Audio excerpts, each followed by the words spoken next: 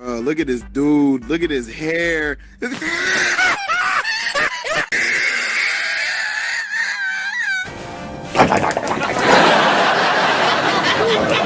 It's a terrible mess.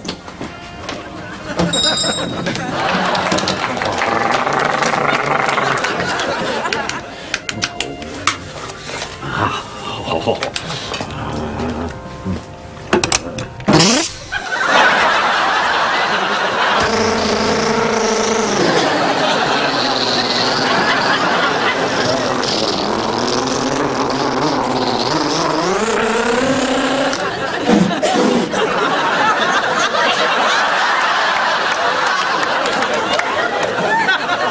is why I'm wearing a cap.